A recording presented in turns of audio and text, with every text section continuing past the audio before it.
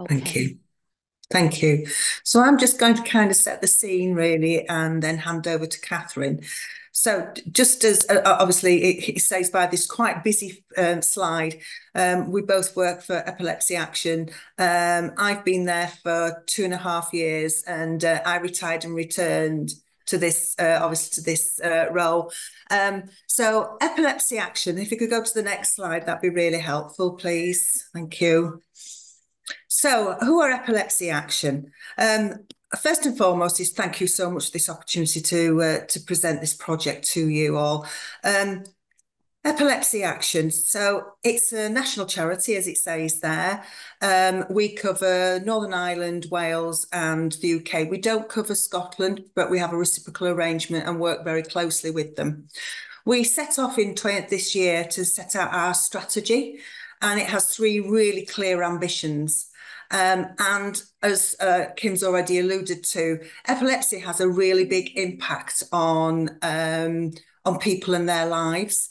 So our ambitions start with improving the lives of everyone with epilepsy. Um, it can have some devastating effects on people. It can affect work. It can affect their mental health um, and everyday activities.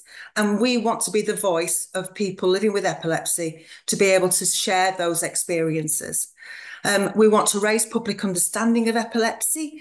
Um, it's in, it's interesting to know that not everybody knows what epilepsy is, or they think they know, and all they think of is seizures. But it has got so many other um, elements to it, and this is one of our ambitions: is to make sure that everybody knows what epilepsy is, and to be fully inclusive. Fully inclusive really does mean about having everybody on board. Stigma, isolation, all of those issues that Kim picked up um, are very implicit in our work. So, as a charity, um, we provide a whole range of resources. Um, and I just want to kind of give you a quick overview. We do resources both for, uh, for healthcare professionals. We do a lot of templates for care plans and we do seizure diaries. We have the drug watch, um, medicine shortage information. We do a lot of printable health information, which you can have access to. You just need to do orders. All of these can be uh, through order. Um, we advise, uh, we provide advice to professionals through a whole range of, of ways, particularly our helpline. And that is uh, available Monday to Friday and some Saturday mornings. Um, and we have a range of people who can help advise and support people. Um, and we also do a whole range of uh, online epilepsy training, which can be accessed by both healthcare professionals as well as by um, individuals. But we very much, and we're very pride ourselves on the resource we do for people with epilepsy. We are what we call PIF TICK accredited, which means that we uh, um, go through a whole range of accreditation and are, and are, are nationally recognised. We do information for uh, about having a family. Again, the helpline answer those experienced and uh, experienced team can answer those questions. We do a range of talk and support groups, which are online and in person. We do a befriending service. Um, we do the free online training um, and the latest news. We do a range of publications that uh, go through from um, professional epilepsy professional, uh, ET, that's Epilepsy Today. We do newsletters, and we do have a, a membership for uh, um, epilepsy specialist nurses, but equally for any professional who wishes to join. Next slide. Thank you, Alison. And um, I'll, I'll just, I'm so delighted to be able to share the Maternity Epilepsy Project, which um, began in January of this year. And our ambition and aim right at the very beginning was, was very clear to, um, to improve the clinical outcomes and the lived experiences you know back on you know from what kim was sharing you know with a wealth of experience those lived experiences are, are very real. And it's so important that um, we you know together that co-production we we develop a pathway of care that includes not just pregnancy but preconception and postnatal care of well. And and what we have um, achieved in the 11 months is we have we have co-developed a, a, a, library of resources which include a northwest regional guideline um, a minimum service specification and a self-assessment um, toolkit so to enable um, providers local providers to benchmark their service around national and safe standards so, um, so some of some of the things Kim shared already as as to where the project has originated from, but uh, you know, I have to thank Alison, you know, for her vision with all her leadership expertise and, and knowledge. Her vision, you know, on the back of the MBRRACE report, which Kim's already identified that women with epilepsy are 10 times more likely to die in pregnancy than uh, than women without without epilepsy, you know, and linking into um, the reports from SUDEP and the fact that maternity epilepsy related deaths have almost tripled in the three years. So, so on the foundation from that, um, Alison um, joined partnership with the Northwest Regional Maternity Team to to fund and create this amazing and most um, most life changing project for for women, but equally for care providers. And you know, in in the last eleven months, we have undertaken lots of events and um, engagements with with with women and their families, with clinicians, um, to to enable us to co-produce um, that library of, of resources. So when we look at the Northwest, um, we know that one of the biggest challenges has been around the limited national data because unfortunately epilepsy related information is not mandatory as part of the MSDS um, data set. But we do know within the Northwest, approximately 73,000 people are living with epilepsy, and that roughly equates to about 1%, um, 1% of, of the population. Um, you know, again, just some of the um, what Bill on the back of what Kim said, you know, there is links with people with epilepsy living in the most deprived areas and within the Northwest you know, we have some of the most deprived areas within the UK.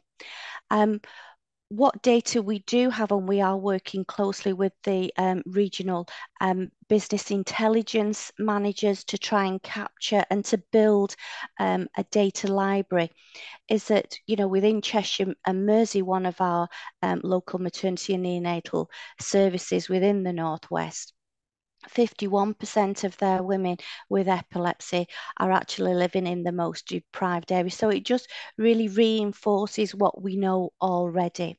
And then there's lots of, you know, different um, publications coming out and, and, research. There is a need to do more research, but there's also um, so some of the information is quite controversial. But, you know, there's a recent um, Scandinavian study that highlighted a 50% um, increase of, of either death or illness for children of women with epilepsy. So, you know, what we don't understand, I'm sure Kim's the same here, is why why has nothing, why has this not got a higher profile within the maternity agenda?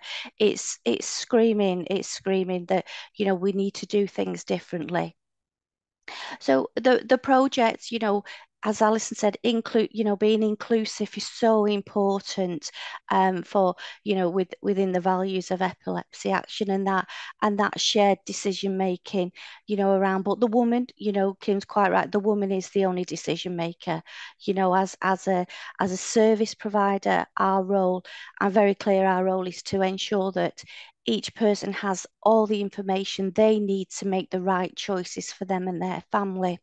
And throughout the project, we have had extensive um, partnerships and relationships built across the Northwest and and I think what's different to this project is we have also included, it was important to us to capture the young voices because ultimately they will be our future service users and families, but equally, um, whilst we know that um, you know the the young person pregnancy rate has reduced over the last 10 years they you know they they still choose or maybe maybe um, unplanned preg- uh, pregnancies occur. So it's around it's a different it's a different cohort of people that we we need to get the messages right. We need to get those communications and, and that information right within our future pathway to to create that sustainable model moving forward um, the first thing that we did was undertook a gap analysis.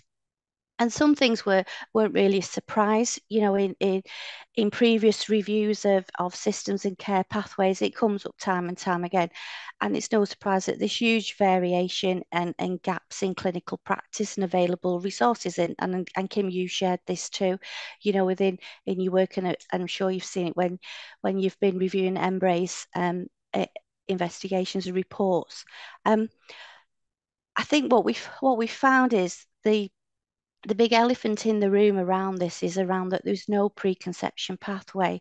It's around looking at who will own this. Whilst lots of uh, the the documents, the national documents, um, refer to preconception because that is the foundation of increasing um, healthier pregnancies and healthier outcomes for for for women and families it doesn't appear that there's any clear ownership and direction across the Northwest. Um, we know that with you know as part of the gap analysis there's huge variation in language and that can be quite confusing because what we're trying to establish is a pathway that is for all care providers you know so and when we're changing things like AED ASM you know that can be quite confusing.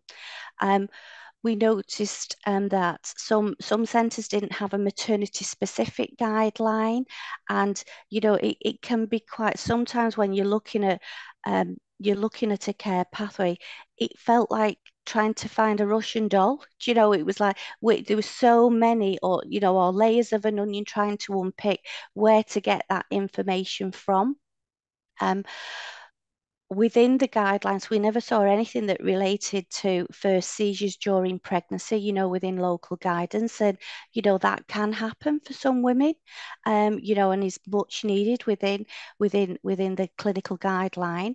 Um, often um, there was, you know, Kim had spoke about comorbidities, you know, learning, you know, she's experienced more um, women with learning disabilities and, uh, and having epilepsy, but also, you know, increased links of mental health issues that women with epilepsy um, have have higher risk of, of developing. So the, you know, there's lots of things there for us to work and to found a really robust pathway moving forward. Next was we we had several um, listening uh, listening um, events with with women and with and with young people and you know it just re reiterates what we've heard is the same as what Kim has shared you know that women often feel very isolated and under pressure repeatedly not being listened to. You know the listening events were very emotional you know and and uh, you know it, it, it was quite it's quite difficult to hear you know as, as a midwife and and, you know, one woman shared that she wasn't believed when she said, I've had a seizure. The staff did, how? how? It just is beyond my conception of how how a clinician can do that. You know, women felt that, you know, um, the NHS knew nothing. You know, and we, we've we've talked several times, you know, throughout the program. It did feel like we don't know what we don't know you know not not for all you know there was good area of care and that was mainly centered around the amazing work that the epilepsy specialist nurses and their teams provide, and equally as the maternal medicine networks are are are are, are, are being embedded within within the regions. And there was, you know, there was lots of um, issues around care that they'd received, and that was around lack of lack of support, poor communication between maternity and epilepsy services, and and the lack of knowledge from staff kept coming through um, with e with each of the um, listening events. So there was there was lots of us there, lots lots of learning for us um, to embed within the pathway. We had um, we had some young people's voice, but we felt that we wanted to get a wider understanding And um, out of 28 responses that we had from the survey, it was really good to see that you know two two thirds we'd like more, but two thirds had had had received contraceptive advice. Um, unfortunately, only seven had received information when actually wanting to plan um, a, to have a baby. And I think what what was I think one of the key things that we've taken away from this is that whilst I think sometimes there's an assumption that the younger the younger population are quite digitalized, they actually 85.7% wanted face-to-face um, face-to-face discussion with either a nurse, a midwife, or or, or, a, or a doctor. Um, but they did prefer, in terms of when we're sharing information and resources, the majority of them did prefer the um, app-based platforms. Um, and I think what you know key things to take away is is around what was most important to young people around contraception and that was around um, information about their epilepsy but particularly, you know, around the interaction of taking anti-seizure medication. So we, again, more learning that we were so privileged to capture at this at, at, during the project. So we then had clinical listening events with, with midwives, with obstetricians, with neurologists, with GPs, and with it was quite diverse, the clinical listening events. And you know, there were some similarities. Uh, a main thing was around the variance of, of joint services. It was often inequitably and uh, inequitable, and that was compared with diabetes services, you know, where often there's very robust and established teams, even within small local providers. And within the bigger units in the maternal medicine centres, that wasn't so much of an issue, but where, where you've got smaller local providers, uh, they didn't have um, they didn't have the same staffing to provide services and, and subsequently they became quite inequitably inequitable. Um, a theme came up um, time again about around education and lack of access, lack of knowledge, um, lack of being released, you know, because, you know, there there isn't any unit that's that's working ab above and beyond um, for the last five years at least. You know, so it's so difficult. On top of the vast amount of mandatory training, you know, I think a midwife in in the last trust, it was nearly it, was nearly three weeks um, mandatory training that they needed to complete. It it just keeps adding and adding. But we do we do need to prioritise um, epilepsy um, for clinicians. We then undertook a midwifery survey because we we you know we're looking at the future as we're still uh, we're still keen to improve the uh, experiences of clinicians on the front line and we wanted to capture midwives' experiences in terms of their self assessment of their knowledge of epilepsy when caring for women, but equally around how confident they felt. And, and we were really delighted to have 60 midwives that com completed across, uh, the survey across the Northwest, and that included a range of midwives from um, all all fields of the uh, pregnancy continuum antenatal intrapartum and postnatal, but equally we had specialists, um, midwives working in a specialist midwifery setting. And, you know, you can see the bottom point there that we did have quite diverse experience of midwives, you know, from four to 38 years working as working within the NHS. And sorry, just there we go. And what we found, um, some of the numbers don't quite add up because they didn't put not every midwife put in where she was working. Um, but we found that there was no midwives working within preconception care.